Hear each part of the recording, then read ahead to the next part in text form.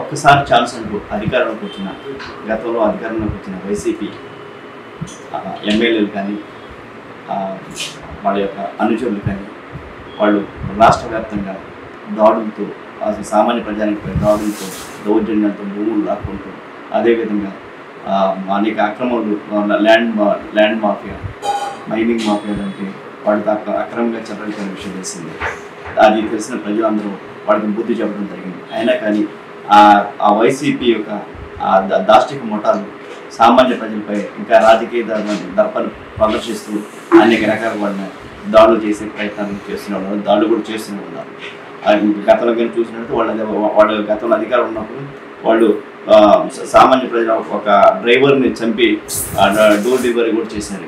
అయినా కానీ ఎటువంటి ఇది లేదు. అదేవిధంగా సాక్షాత్తు నాటు నాటి ముఖ్యమంత్రి వైఎస్ జగన్మోహన్ రెడ్డి యొక్క ఒక ప్రాంతంలో ఒక మహిళపై దారుణంగా హత్య హత్య జరిగినా కానీ కానీ ఇటువంటి చర్యలు తీసుకోలేదు. దాన్ని అండగా చూసుకునేక వాళ్ళ యొక్క అనుచర వర్గం సామాన్య ప్రయత్నం ప్రజలపై చాలా దాడులు దిగే విషయం తెలిసిందే. ఇప్పుడు తాజాగా చూస్తే వాళ్ళ అధికారం కోల్పోయినా కానీ ఇంకా ప్రజలు బుద్ధి చెప్పినా కానీ ఇంకా వాళ్ళ యొక్క రాజకీయాన్ని ద- ప్రదర్శిస్తూ యాంకర్ అయిన కావేశ్వరిపై అప్పడిగినందుకు అప్పడిగినందుకు తనపై దాడి చేశారు. ఆ, ఆ- ఆ యొక్క వివరాలను అడిగి తెలుసుకునే ప్రయత్నం చెప్తాం చెప్పండి మేడం మీరు మీ- మీపై ఏ విధంగా దాడి చేశారు? ఎందుకు దాడి చేశారు? అప్పు అంటే వాళ్ళు మా దగ్గర తీసుకున్న డబ్బులు. నేను తిరిగి అడిగినందుకు. ఎప్పుడు మూడు సంవత్సరాలు అయిందండి ఆల్రెడీ ఆయనకి ఇచ్చి రాజమండ్రిలో ఉంటారు.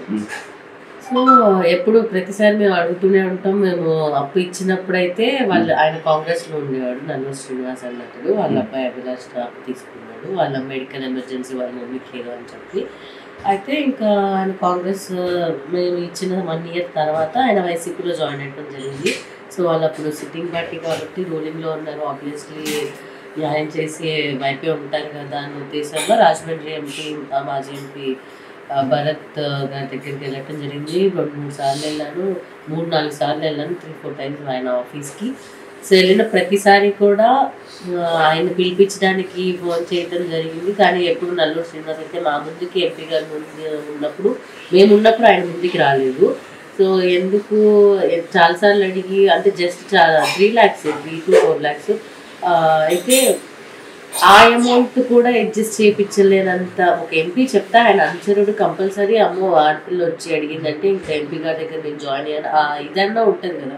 లేదంటే మేము వాళ్ళు అప్పటికి ప్రజల్ని పరిపాలించే ప్లేస్లో ఉన్నారు. అప్పటికి ఆయన ఎంపీ రాజమండ్రికి ఆయన ఆడపిల్ల అమౌంట్ ఇచ్చేయాలి ఇలా చేయకూడదు అన్న మాట ఆయన గట్టిగా చెప్పుంటే ఇతడు ఇచ్చేసి ఉండేవాళ్ళు. మరి ఆయన చెప్పలేదు ఆయన చెప్తే ఈయన వినలేదు.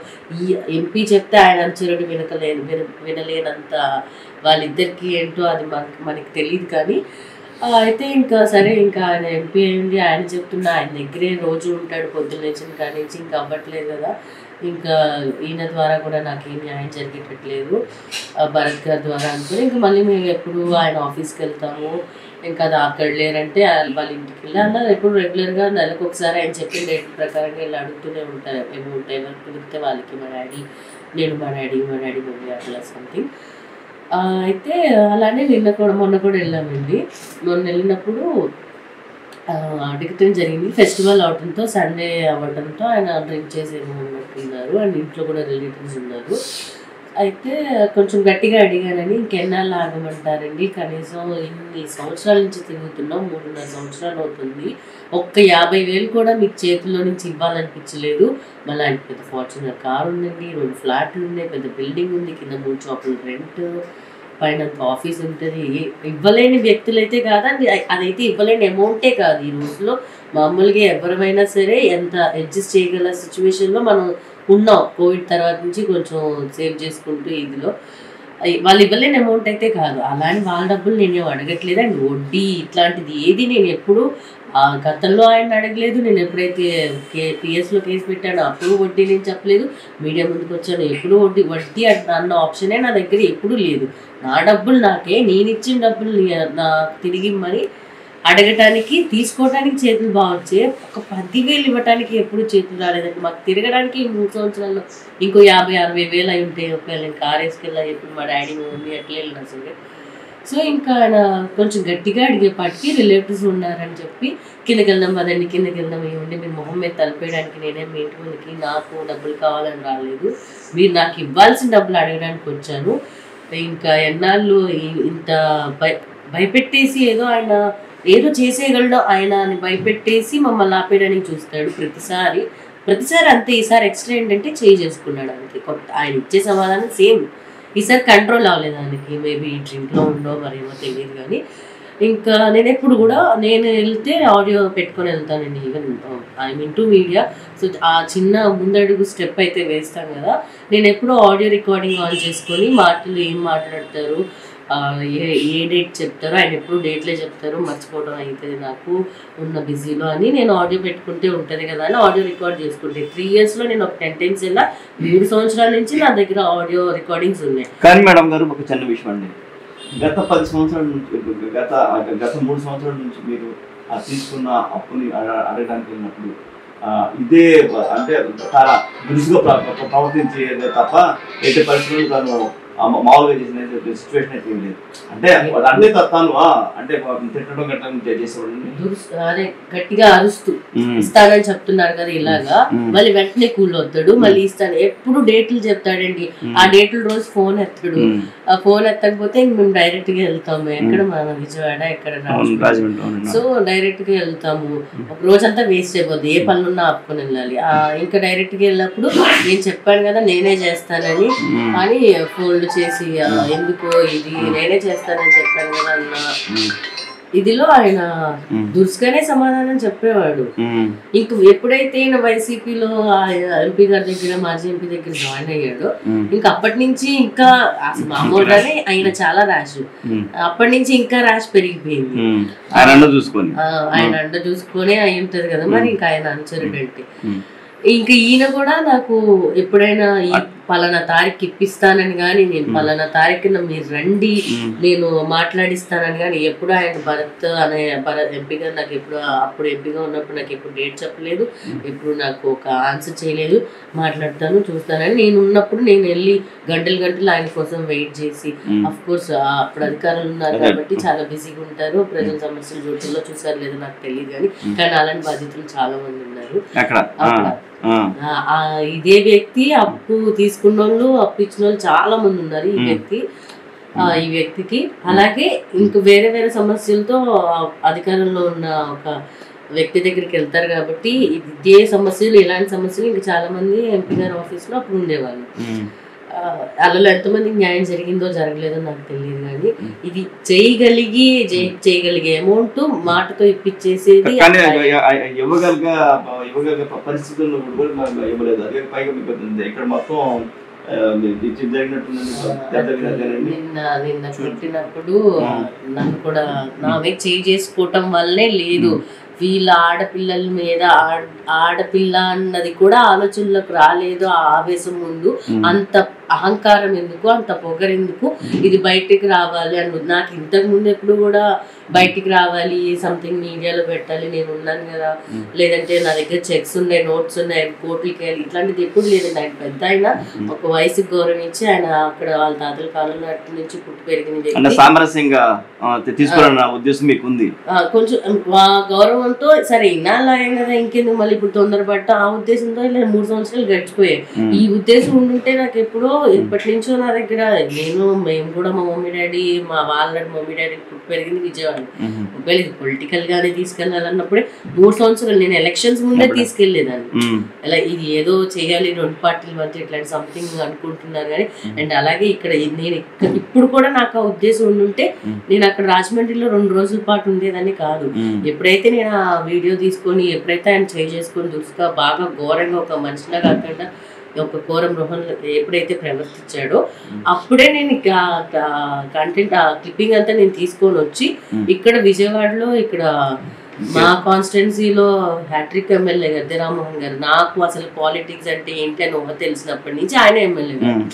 సో నేను అది పొలిటికల్గా చేయాలనుకుంటే ఇక్కడ లేదంటే నేను జనసేన వీరాభిమాని లేదా అమ్మిశెట్టి వాసు గారు అది అంతా కాకుండా ఇంకా మా ఫ్యామిలీలు తరతరాల నుంచి నమ్ముకొని వచ్చింది వంగవీటి ఫ్యామిలీని రాధాబాబు గారు చాలా. మాకు ఎవరికైనా సమస్య అంటే ముందుకు వస్తారు. సో అలాంటిది ఇంతగా ఒక ఆడపిల్లకి మీద చేయి చేసుకునే అంత అన్యాయం జరిగిందంటే నేను ఇది పొలిటికల్గా తీసుకురావాలంటే ఇక్కడికి వచ్చి నాకు బల్పిపడి దగ్గర చేసుకునేదాన్ని కదా. నేను అక్కడ ఎవరు నాకు తెలీదు. అప్పటికి ముందు నుంచి. ఎప్పుడైతే రూలింగ్ మారిందో ఇక్కడి వచ్చిందో అప్పటి నుంచి మాకు అక్కడ నాకున్న రాజమండ్రిలో ఫ్రెండ్స్ వాసన్ అలా కాదు ఇప్పిస్తారు. నువ్వు ఒక్కసారి ఆదిరెడ్డి భాస్కర్ దగ్గరికి వెళ్ళు వాసన్ దగ్గరికి వెళ్ళు అక్కడ నాకు ఫ్రెండ్స్ అందరు చెప్పారు.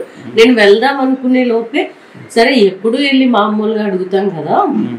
ఈసారి కూడా అలానే అడుగుదాం ఒకసారి అడిగాక నేను వాసు గారి దగ్గరికి వెళ్ళొచ్చు ఆదిరెడ్డి వాసు గారి దగ్గరికి అని చెప్పేసి నేను అనుకున్నాను అనమాట ఈ లోపు ఆయన చాలా దురుసుగా దాడి చేయటం కానీ మీ- మీ- నాన్నగారి మీద కూడా చాలా దారుణంగా అంటే మీ మీద ఇట్లా కనపడుతుంది బాగా కన్ను పక్కన మొత్తం కనపడుతుంది. దారుణంగా దాడి చేసి అవకాశం ఇవ్వలేదండి మా నాన్నగారికి అసలు. చేతిలో మా నాన్నగారిని పెట్టేసుకొని. నా ఫోన్ లాగేసుకోవాలి నా మీద నన్ను ముందు కొట్టేయాలి.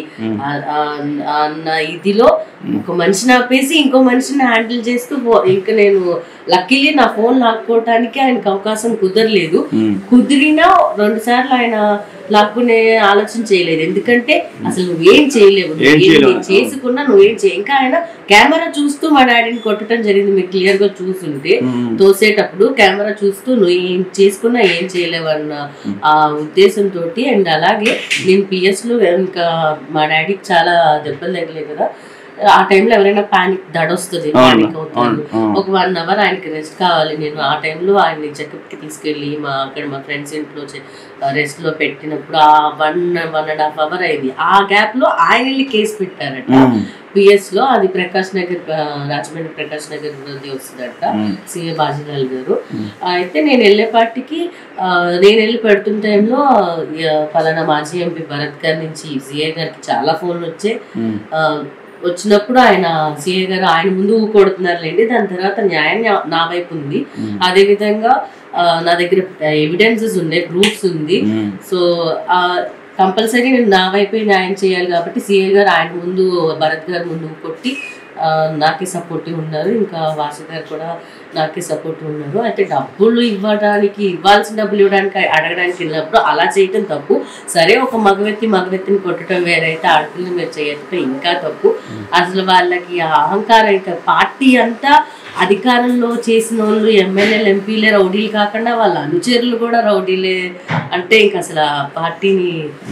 ఇది పార్టీ ప్రజల్ని పరిపాలించే ఒక రూలింగ్లో ఒక ఐదు సంవత్సరాలు చేశారా వీళ్ళు? ఎలా ఇచ్చేసారా అప్పుడు అవకాశం? కానీ ఇటువంటి వ్యక్తుల్ని ప్ర- ప్రజలు ఎందుకు ఎన్నుకున్నట్టు మీరు చెప్పండి. కానీ చూస్తాం మన పక్కన. ఏ రోజు కనీసం మనం చూసినట్టు చాలా మంది రాజకీయాలు ఏ రోజు మనకి వచ్చి ఉంటారు? దాదాపుగా వస్తారు కూర్చుంటారు మనం చూసే వాళ్ళు ఓట్లు వేస్తాం. కానీ ప్రజలకు ఒక ఓట్లు కూడా వేసేటప్పుడు కూడా ఆ వ్యక్తి మంచి కూడా కాదా? వాళ్ళ యొక్క బ్యాక్గ్రౌండ్ ఏంటి కూడా చూసుకోవాలి. కానీ ప్రజలు ఇటువంటి రౌడీలకి ఎట్లా ఓట్ చేస్తాం మీరు అనుకోవచ్చు మీకు చెప్పాను కదండి స్టార్టింగ్ ఒక అవకాశం అని అడిగినందుకు వేశారని బ్యాక్గ్రౌండ్ చూసారండి ప్రజలు.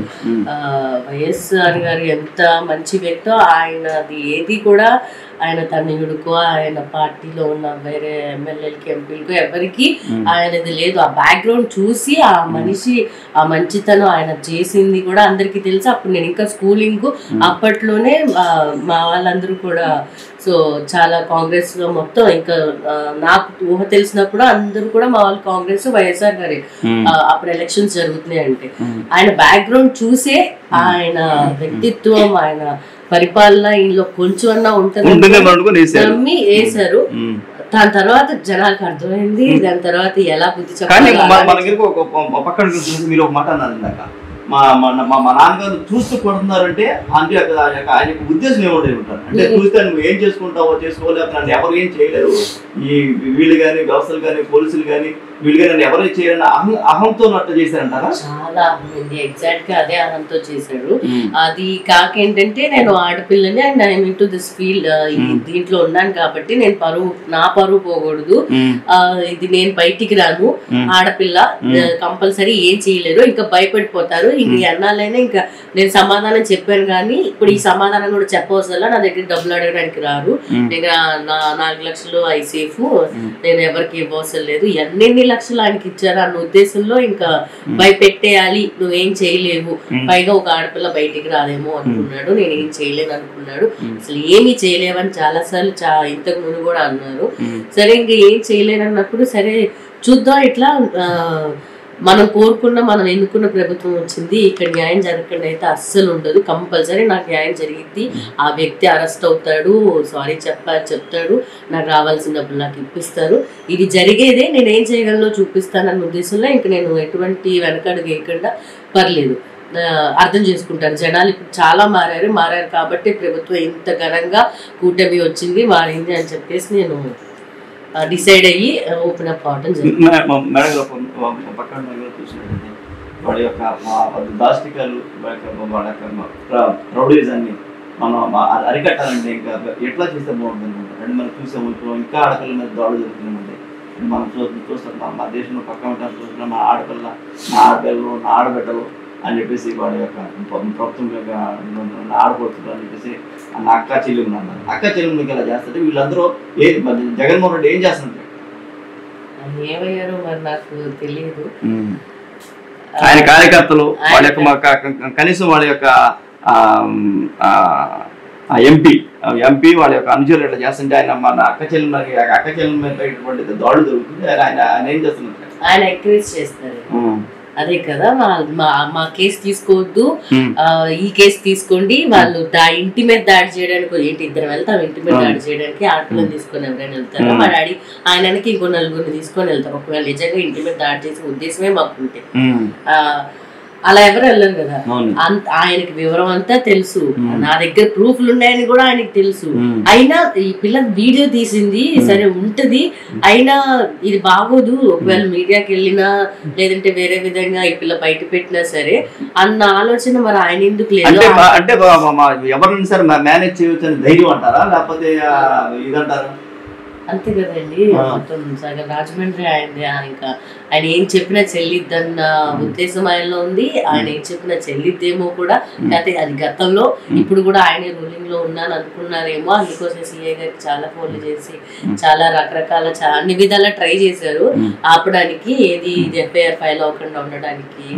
ఆయన్ని ఆ, పలానా జైలుకి తీసుకెళ్ళకుండా ఉండడానికి చాలా ట్రై చేశారు. కానీ ఆయన మర్చిపోయారు. ప్రభుత్వం మారింది. ఆయన అధికారంలో లేరు. వాళ్ళు ఏది చెల్లదు. న్యాయం ఏది ఉంటే అదే చెల్లిద్దని ఆయన మర్చిపోయినట్టున్నాడు ఇంకా ఇంకా వాళ్ళు అధికారంలో ఫీల్ అవుతున్నారు. అదే. ఇంకా ఆయన నేనే ఎంపీని నాదే రాజమండ్రి అని ఆయన ఫీల్ అయినట్టున్నారు. చూద్దాం మరి ఆ ఫీలింగ్ ఏమైంది. కానీ మా పక్కన చూస్తున్నట్టు మన మా- మా నారా చంద్రబాబు నాయుడు కానీ పవన్ కళ్యాణ్ కానీ ఎయిటీ పర్సెంట్ ఆడపిల్లలకి కానీ అన్యాయం జరిగితే మాత్రం ఊరుకోని చెప్పేసి అన్నారు ఇప్పుడు హోమ్ మినిస్టర్ గారు కూడా ఊరుకోవట్లేదు. ఇది ఈ విషయాన్ని మీరు మినిస్టర్ దగ్గర కూడా తీసుకెళ్ళే అవకాశం ఉంటారా తీసుకెళ్తానండి ఆల్రెడీ వెళ్దాం పవన్ కళ్యాణ్ గారి దగ్గరికి ఆ, వెళ్తానండి లోకేష్ గారి దగ్గర గారి దగ్గరికి కూడా వెళ్తాను. సో వెళ్ళాలి. ఎందుకంటే ఇలాంటి వాళ్ళు ఇలా చాలా ఊర్లో ఆంధ్రప్రదేశ్ మొత్తంలో చాలా బాధ్యురాళ్ళు బా- బాధితులు అందరూ ఉన్నారు. కానీ వాళ్ళందరూ బయటికి రావాలి. ఇప్పుడు ఈసారైనా వాళ్ళ సమస్యలు వాళ్ళకి ఇలా పలానా ఇప్పుడు ఒక ఎమ్మెల్యే అయినా ఒక ఎంపీ అయినా వాళ్ళ దగ్గర చాలా మంది అనుచరులు ఉంటారు. వాళ్ళు చాలా పనులు చేస్తే చాలా ఉంటాయి. ఇప్పుడు ఇది డబ్బుల పరంగా లేదా ఇంకోటి సంథింగ్ ల్యాండ్ పరంగా ఇట్లా చాలా సమస్యలు గత ప్రభుత్వంలో జరిగి ఉంటే వాళ్ళందరూ కూడా బయటకు వస్తారు. నేను అలా వాళ్ళ హోమ్ మినిస్టర్ గారి దగ్గరికి అదే విధంగా ఆ, డిప్యూటీ సీఎం గారి దగ్గరికి అండ్ లోకేష్ గారి దగ్గరికి నేను వెళ్ళి ఇది అంతా బయటికి నేను తేగలిగితే. నన్ను చూసి ఒక పది మంది రాగలరు వాళ్ళ సమస్యలు తీర్చుకోగలరేమోనని ఇక నేను ఇట్లా ప్రయత్నిస్తాను మా- అంటే వేరే వాళ్ళు కూడా ఇటువంటి ఉద్దేశం చొప్పున మీరు ఆ, వేరే వాళ్ళకి జరిగేసాయి వాళ్ళకి న్యాయం జరగాలి వాళ్ళు బయటికి రావాలి అన్న ఉద్దేశంలో ఇంకా నేను ఎలాగా డిసైడ్ అయ్యాను. నాకు న్యాయం న్యాయం కావాలని నేను ఎలాగా బయటకు వచ్చాను. సో ఇలా నన్ను చూసి ఓకే మేము. అడగొచ్చు ఇప్పుడు మాకు న్యాయం జరిగిద్దని వాళ్ళ ల్యాండ్ పేపర్లో ఏవో క్యాష్ పేపర్లో ఏం చెక్కులు తీసారు అవన్నీ వాళ్ళు బయటికి తీసుకొని వాళ్ళ ఏరియాలో ఉన్న కంపల్సరీ కూటమి ప్రభుత్వం ఏదైతే ఉందో వాళ్ళ దగ్గరికి వెళ్తే కంపల్సరీ వాసు గారు అయితే నాకు ఆదిరెడ్డి వాసు గారు చాలా చాలా అండగా నించున్నారండి. సో అలా వాళ్ళ ఏరియాల్లో ఉన్నటువంటి సిట్టింగ్ ఎమ్మెల్యేలు కానీ ఎవరైనా వాళ్ళకి ఏదైనా సమస్యలు ఉంటే నుంచుంటారు. మీకు ఇంతకుముందు గత ప్రభుత్వంలో ఏదైనా అన్యాయం జరిగితే కనుక కంపల్సరీ వెళ్ళి ఆ సమస్య ఇప్పుడు ప్రభుత్వంలో ఉన్న అధికారులకి చెప్తారని నా ఉద్దేశం. చెప్పండి అని కూడా నేను చెప్తున్నాను. ఎందుకంటే మనకు కంపల్సరీ న్యాయం జరిగింది ఇప్పుడు ఎప్పుడు మనం చూసాము మానవతా దృక్పథంతో ఏదో తన తల్లికి హెల్త్ బాగాలని చెప్పేసి ఒక మన డబ్బులు ఒక త్రీ ల్యాక్స్ ఇవ్వమని చెప్పి ఇచ్చారు కావ్య గారు. ఆ మానవతా దృక్పథమే తన యొక్క తను తన మీద దాడి చేయడానికి ఆ యొక్క ఆ- మానవత్వాన్ని కూడా మర్చి తన త- చేసిన సహాయాన్ని కూడా మర్చి ఆ వైసీపీ మొక్కలు ఆ మా ఒక- ఆడపిల్ల మీద అది కాక మా ఆడపిల్ల మా మా ఒక జర్నలిస్ట్ అంటే గతంలో యాంకర్ గాను జర్నలిస్ట్ గాను చేశారు. ఈ మీద దాడి చేయటం చాలా హేమం. అది అదేవిధంగా ఈ యొక్క కూటమి ప్రభుత్వం మీద తనకి నమ్మకం ఉందని అదేవిధంగా తన యొక్క పరిస్థితి ఇంకా అంటే గతంలో కూడా వాళ్ళ యొక్క ప్రభుత్వం అనేక ఆడపిల్లల మీద కానీ మిగిలిన వ్యక్తుల మీద దౌర్జన్యాలు చేశారని వాళ్ళకి వా- వాళ్ళకే వాళ్ళకే ఒక మంచి ఇచ్చే ఇచ్చేయడం కోసం అని చెప్పేసి వాళ్ళకి స్పోర్టివ్గా ఉన్న పుట్టడం కోసం వచ్చి రేపు పొద్దున హోమ్ మినిస్టర్తో కానీ అదే పవన్ కళ్యాణ్తో లోకేష్ బాబుతో కూడా మాత్రం కలిసి తను తనకు జరిగిన అన్యాయం చెప్పి ఇంకా మా మరే వ్యక్తికి ఇటువంటి అన్యాయం జరగకూడదని అని అన్నితో తను చెప్తాను అని చెప్తాను చెప్పేసి కా- చెప్పారు. కెమెరామెన్ శ్యామ్తో ఏవి శ్రీనివాస్.